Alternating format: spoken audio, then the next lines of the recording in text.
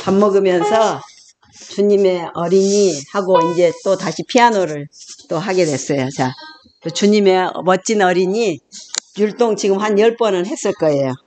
네, 이 꼬맹이, 조그만 꼬맹이 언니가 아주 이쁘게 잘하는데. 했어? 어디? 뭐, 그리가? 저, 저 노래 이제 다 했어. 한 10번 했으니까.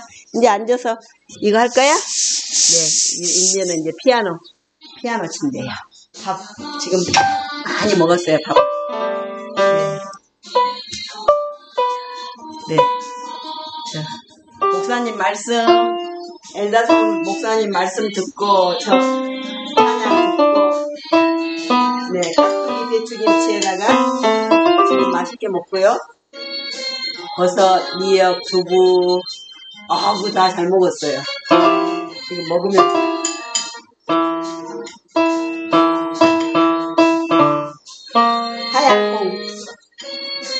콩 삶아놓은, 오, 그거 있어요.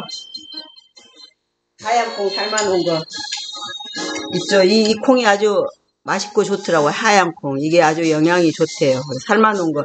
약식 만들 때 삶아놓은 게 있어서 그거 하고 또 네, 깍두기하고 배추김치 조그맣게 썰어서 같이 주니까 지금 거의 15숟가락 밥을 거의 다 먹었어요.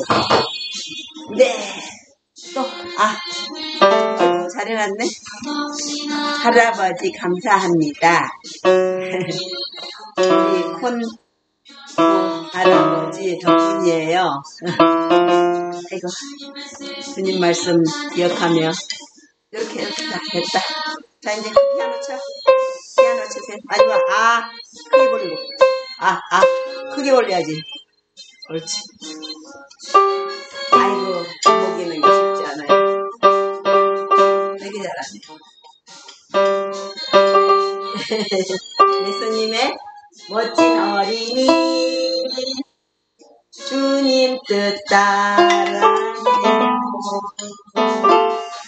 주님 뜻 따라요 와 잘했다 언니들 저 언니들 노래를 부지런히 듣고 그 다음 따라하세요 이따가 이거 이제 피아노에 꽂혔으니까 그 피아노 치라고 놔두고 어? 어? 그런 소리 또 나요?